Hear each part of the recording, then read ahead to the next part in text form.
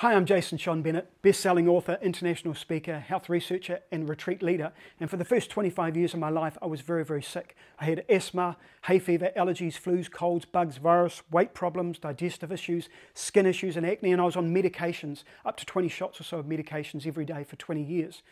Now it's 2024, I'm almost 60, I turn 60 in three years time, I've got four adult kids in their 20s and 30s, I've got a bunch of grandkids I keep up with, and people are saying to me all the time, Jason, what are the tips? What can you teach me about health? And I'm a health and wellness coach now, so I love sharing the information that I've learned along the way because I am self-cured in that sense. So in terms of today's tip, what is today's tip? Is tip number seven today is you are not your genetics.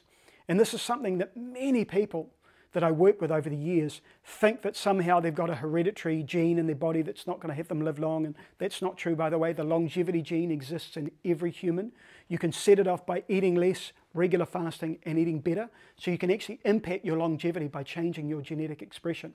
So it's not so much that you are your genes, but it's what you do with your genes. The genes are like a loaded gun. They can always have a bad bullet, but unless you pull the trigger, then you won't get sick or you will get sick. So your genes are up to you as to how they express. So you can control your genetic expression. Doesn't matter what's running in your family or what your parents have had, you can control your health through your genetic expression by changing your diet, lifestyle, and environment.